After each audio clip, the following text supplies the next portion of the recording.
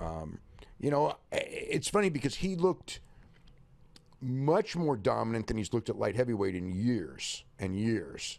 I mean, he. I mean, I can't even remember who, who did he beat at heavyweight like this easily. I mean, even even guys like Glover Teixeira, who he dominated for five rounds, he, he dominated for five rounds, right? Chael Sonnen was probably, you know, Ch- yeah, that's Chael is.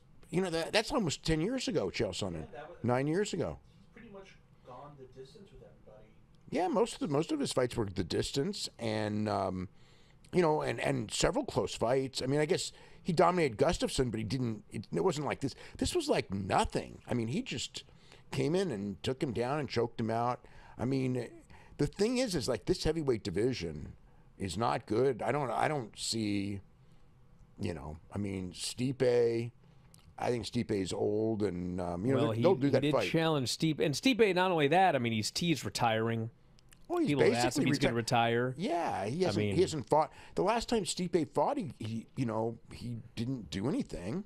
You know, Well, he was there, and Jones challenged him. And then after the show, they went to interview Stipe. and he was and great. talk about selling not one pay per view. Yeah. I mean, this guy's promo accepting this fight was just they're begging him to say something. They're trying to just pull anything out of him. He had nothing to say, but it looks like Jon Jones and Stipe is next for the heavyweight title, and you know, presumably it's going to go similar to this. I mean, I guess we'll find out, but very dominant win Well, from Jon the thing, Jones. the thing is, the thing with Stipe though is Stipe is a real wrestler. Sure. So I mean, I'm not saying Jon can't out wrestle him, but it won't be like a piece of cake. It's like Jon will have to wrestle. Um, you know, I mean, he- he's not going to walk. I mean, he, you know, I don't. I mean, the thing with Stipe's old now though, so that's that's that changes the dynamic. But on paper, you know, the the weaknesses of Gane were, were very notable that that they were stuff that Jon could exploit. So Jon was probably going to win this fight no matter what. I mean, this was a great style matchup for him. Stipe, it's at least a lot more competitive. Um, I think a younger Stipe, I don't know that he beats Jon Jones, but but a younger Stipe, um, you know, obviously was was you know one of the great heavyweights of all time. So, but again, we don't have a younger Stipe. So, but Jon answered questions in the sense of, um, you know, he was real, real big. Was he was he slower? Yes, he was slower, but he wasn't slow. But he was slower than he was at light heavyweight. We didn't really get a lot of. I mean, in a two minute fight, you don't get a lot of answers because, like, again, like, will the weight gain work against him in a long fight? We have no idea. We didn't get to see it.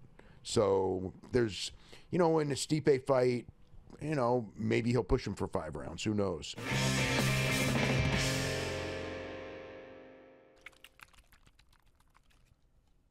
Loading up on some liquid energy here. Uncle Howdy. Why does he do this? Why does he do this? That's like the Uncle Howdy thing. Why does he do that? Me to explain Uncle Howdy. Yes. Someone needs to put that to music, some 70s song for the best of the Bryan and Vinny show. Yeah, keep it off this show, please. Why does he do this?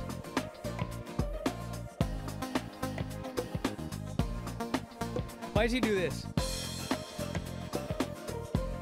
That's like the Uncle Howdy thing. We're gonna get kicked off whatever run. You just disgusted Granny. That's like the Uncle Howdy thing. What a jamming song that is. Yeah, keep it off this show, please. If you enjoy these videos, for just $7.99 per month, you can enjoy full length editions of The Bryan and Vinny Show, Wrestling Observer Live, Figure 4 Daily with Tom Lawler and Lance Storm, the Mad Men podcast, Speak Now Pro Wrestling with Denise Salcedo, and more, plus hundreds of archived shows, all in beautiful HD. Don't miss out. Join us today.